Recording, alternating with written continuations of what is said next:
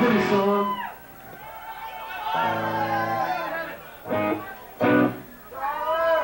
No, no, no.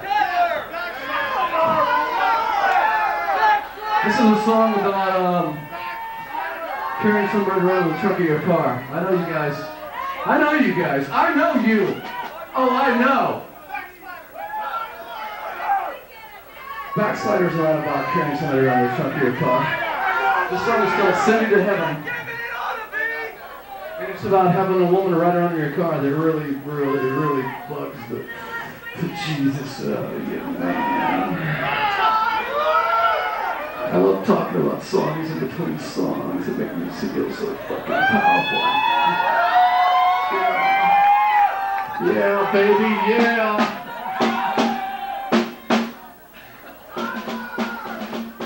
I've just embarrassed myself.